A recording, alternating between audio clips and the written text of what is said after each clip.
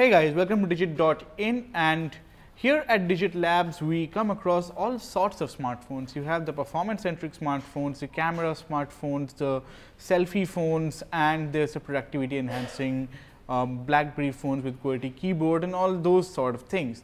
What's very rare these days is a dedicated phone just for gaming and there are a couple of them uh, out there in the Chinese markets and other places including the Asus ROG phone, the Xiaomi Black Shark. What we have here with us is the new Nubia Red Magic 1.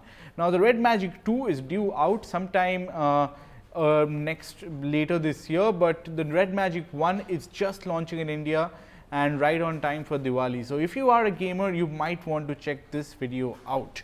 So I will quickly take the uh, wraps of this box and we will delve deep into what is there in the box itself. Let's see.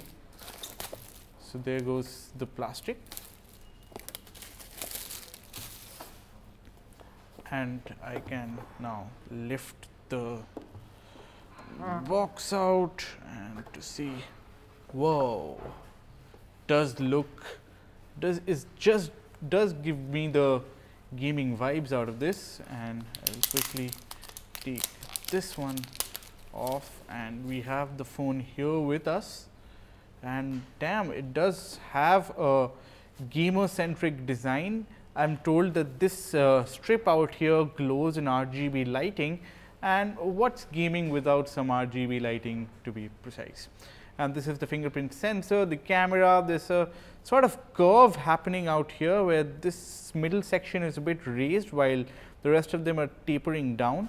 I am guessing this is to give you a better grip when you are holding the phone like this. I will quickly turn this on and let it set up. Oh, there is a separate uh, switch out here as well that I think silences the phone or engages the gaming mode. I have to check into it, but yeah, this is the red magic. I will quickly leave it aside for it to get set up and no, I actually have to do it all by myself. Let me game already. Can't really take all this much time for me to start gaming. I'll skip, not now, skip anyway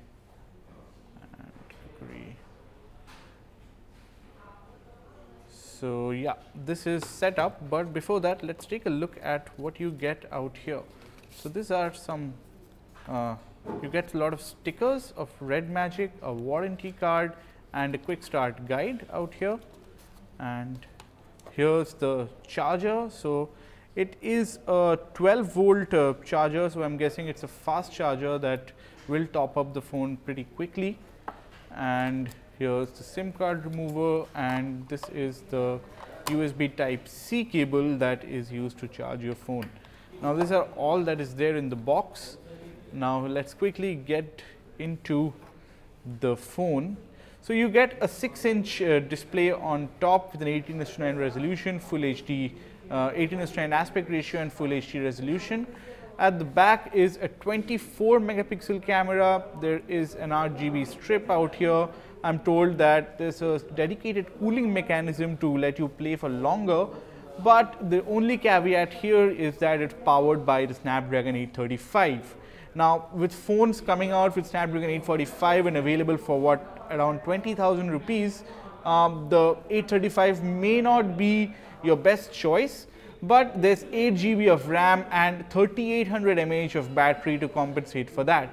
There's literally little difference in uh, the gameplay and the experience in 835 and 845 and if you play games like PUBG Mobile or Asphalt 9, it's likely you're going to see very little difference. Now what you do get here is a funky cool package that does look a lot like what a gaming phone should be. Now let me quickly turn on, try and turn on the RGB lights on this body.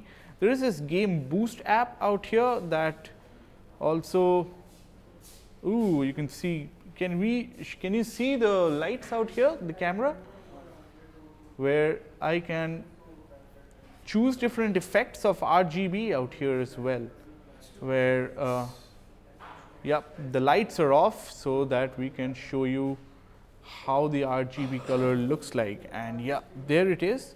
It has this shimmering effect that it's a rainbow ribbon that what Nubia is calling it. This the laser wave that is just moving out here. It's basically to let people know that you are busy gaming and you prefer not to be disturbed.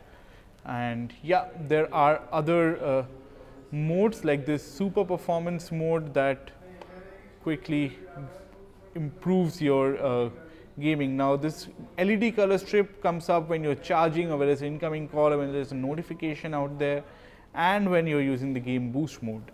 So I will take my time out now and download PUBG Mobile quickly and start gaming on it instead of spending more time in this video.